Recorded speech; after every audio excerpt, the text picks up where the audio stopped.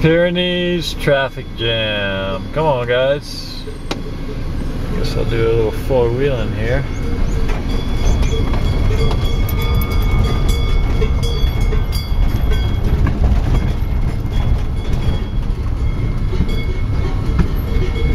Holy shit. Looks like I'm not gonna get home for a while.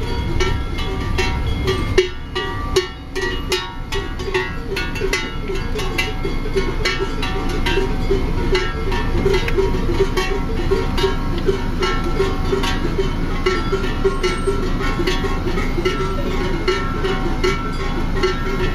you.